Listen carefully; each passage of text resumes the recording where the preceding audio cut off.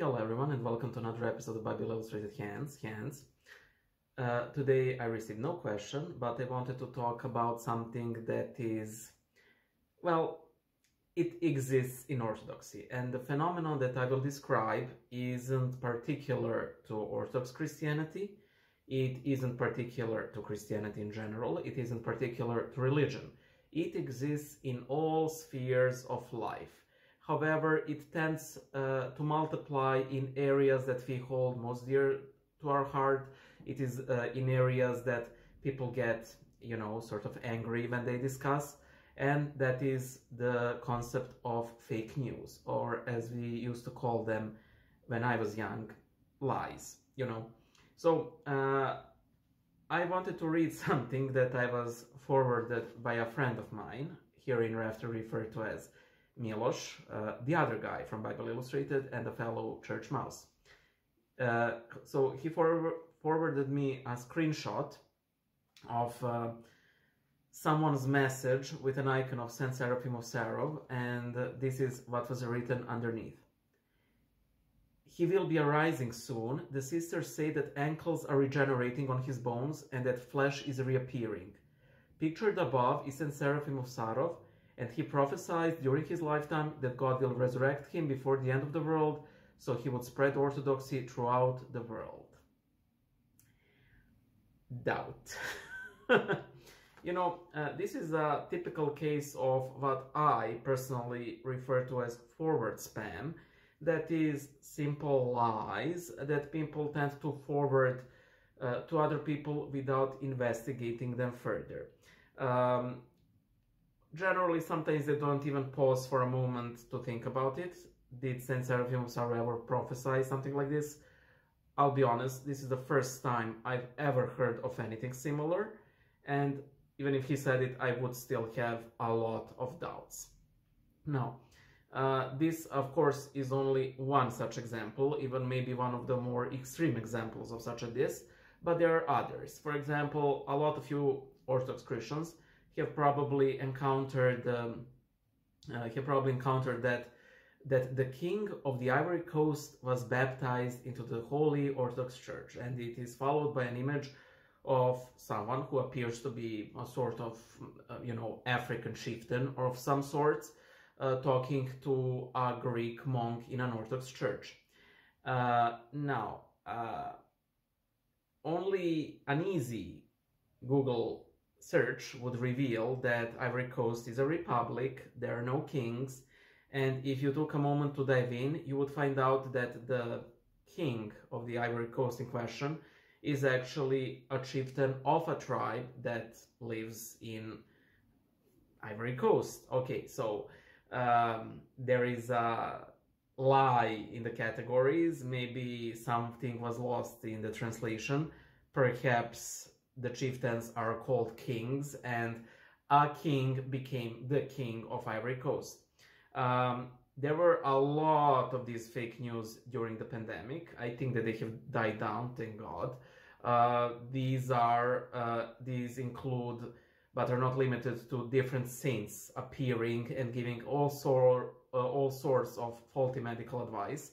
Saint Nicephorus the leper was the most famous one, uh, and I'm sorry, but hanging basil or thyme on your door, frame won't protect you from COVID. I mean, they're healthy, but not not that healthy. And I think that um, Elder Ephraim of Arizona was also a frequent uh, target for these lies. Uh, there was one particular vision, if it ever happened, and if it was uh, Elder Ephraim, claiming that everyone who receives uh, the vaccine will die within five months. Well, I'm still standing. A lot of people, to be quite honest, I don't know anyone who has taken a vaccine and has died. And full disclosure, once the vaccines have become available, I also don't know anyone who hasn't taken vaccine and has also died because by the time by that time we were already experiencing Omicron, which is considerably weaker, blah blah blah. I don't want to turn this into another COVID video. We we all all of us had it up to here with COVID. Um, I also wanted to share how I was a victim uh, to this fake news.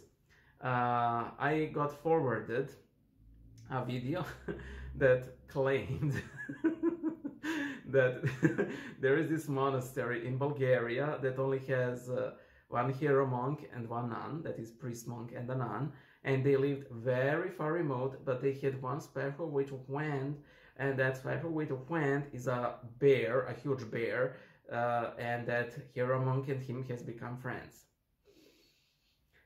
I took that video, I put it on TikTok, I took my time to put subtitles to this video to follow the ones in Serbian. And then my friend Vladimir messaged me, hey, this isn't a Bulgarian hero monk, this is actually a famous grizzly bear, you city boy, uh, which, by the way, do not live in Bulgaria, uh, and he's relatively famous, and that guy is actually speaking English. And yes, when I first saw the video, I heard that they speak something, but I didn't understand the language. But when I put the volume to max, yes, it was English, and I deleted the video, and yeah. I'm not really better than most people regarding this, clearly. So, uh, a long time ago, I watched uh, watched this documentary that dealt with uh, miracles uh, of God, and it was done by a Pentecostal who mostly focused uh, on like Pentecostal miracles, and I would say that a number of them were fine. However, at the very beginning of the documentary, I did a quick search. I can't remember what the name of the doc documentary was. Uh, there is this pastor who uh, sort of gets gold dust uh, on his um, suit uh, when he preaches, and on occasion people would find tiny gemstones around him while he preached.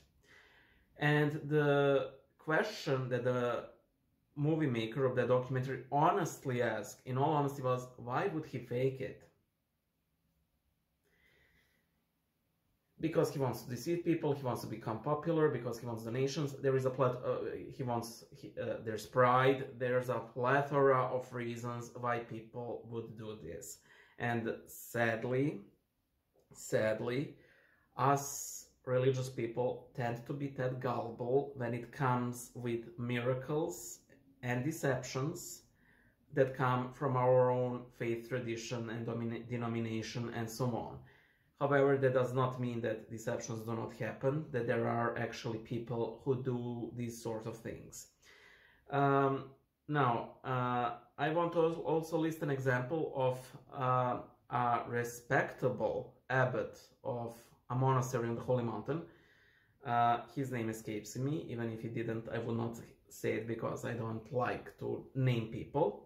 However, during a lecture, this abbot claimed with all honesty, that uh, the European Parliament of the European Union has decided that there are too many monks in Romania and it has decreed that Romania need, must reduce the number of monks.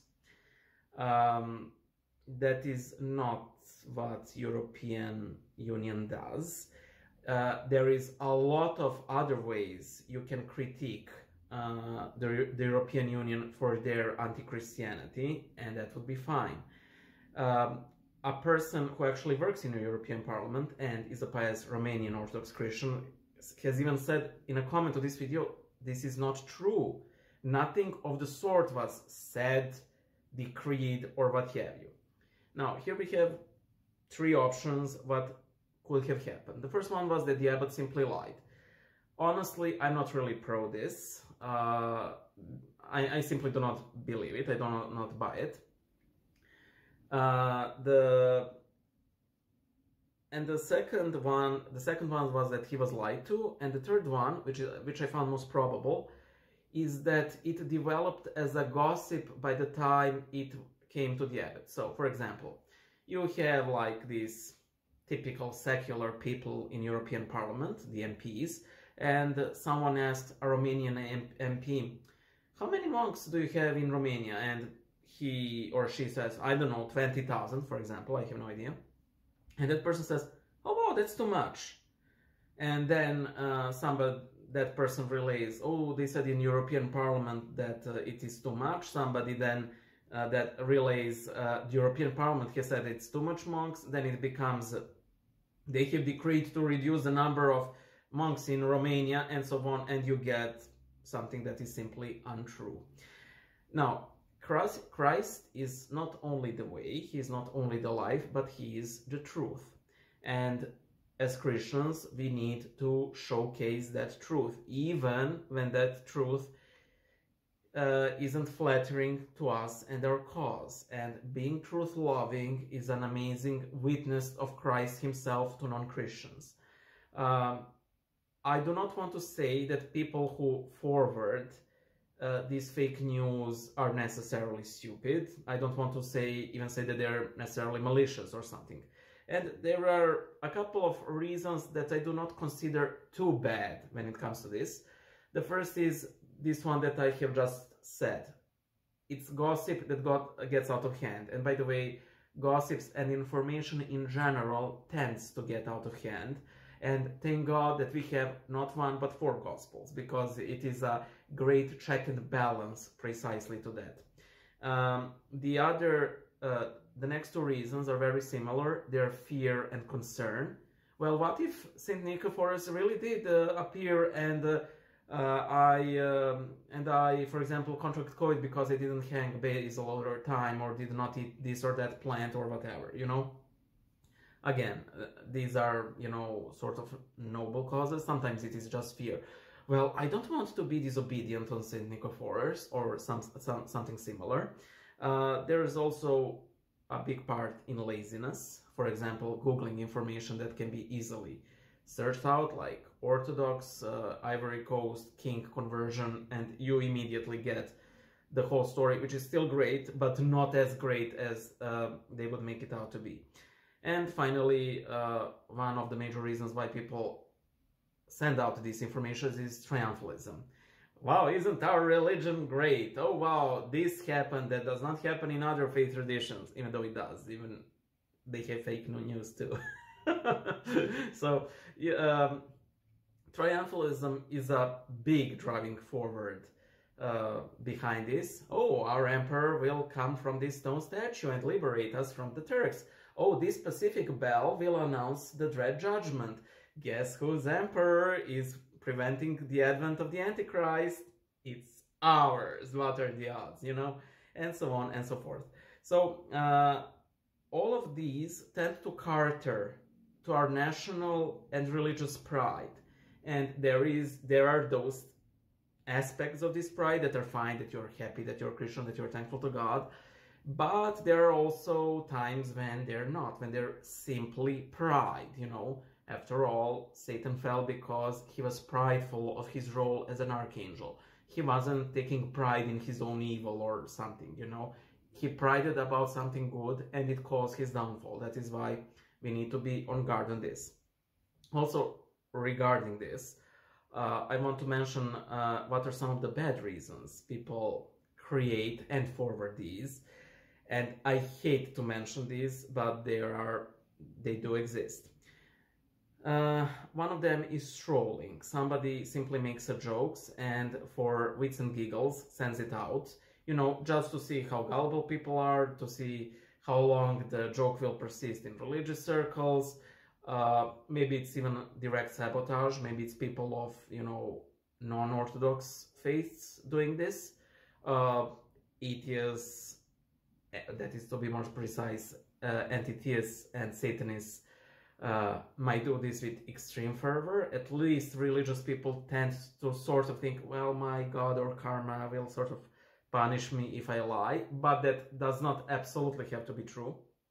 Remember, Christ being the truth means that the end does not justify the means. It never does.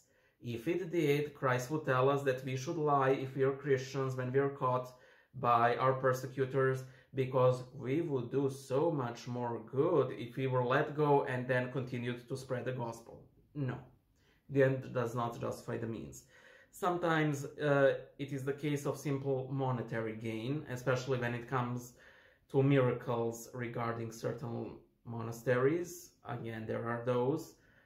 I am aware of some cases, they're painful. They come from people who sought out miracles for their loved ones, and then it turned out that the supposed miracles never happened and that the people who claimed to have experienced such miracles never existed. The, this is a horrible thing. I think it is, I honestly think that it, it is one of those few truly hell damned worthy uh, lies that man can say. Um, uh, a long time ago, I wrote an article about Chiune Sugihara, who is a Japanese diplomat. He was a baptized Orthodox Christian, not really practicing, uh, who saved from 6,000 to 10,000 Jews from the Holocaust. And this article was published in the official gazette of the Serbian Orthodox Church. And I knew the editor at the time. And he asked me, did you tamper with this story? And I'm like, no, I, I investigated it. I even contacted uh, Sugihara's son, uh, if he had any comments and so on. Why? Well, you know, because uh, sometimes we would publish these stories and the authors would embellish them. I was shocked and saddened by this. Uh, he was, the editor was saddened at that fact as well, but he was glad at least that the, that article was fine. I've heard often, I have not verified this, so full transparency, that uh, a lot of translations of some saints in Russian are heavily edited, most especially uh, writings of Pseudo Dionysius the Areopagite. I don't know how to actually pronounce that in English, sorry. Uh, so that there are a lot of text that is simply left out. I also have a friend, and at one point he wanted he uh, he printed a book uh, by Saint Nicodemus of the Holy Mountain, and as he was putting the book, uh, and he simply left book for everyone to read in the chapel where I serve, and he said, "Oh, by the way, I removed all of the all of the references to the toll houses," and I was like, "Now I know that I'm not really pro Toll House, to say the least. I expect, uh, I am not anti Toll House, but I'm very anti how people deal with them online, turning it into a dogma and even telling people who really aren't all that into it that they must not convert to Orthodox Christianity if they do not accept this supposed dogma. However, I gave the talking of my life to that friend like, who are you to change somebody's words? If he said toll houses, they should remain. Yeah, but they're not true. Regardless, you know, it's not up to you to decide. You literally change what St. Nicodemus has said. And maybe, you know, in five, ten years or however, somebody will, well, St. Nicodemus never mentioned toll houses. Well, he did. You just don't know he, he did. you know?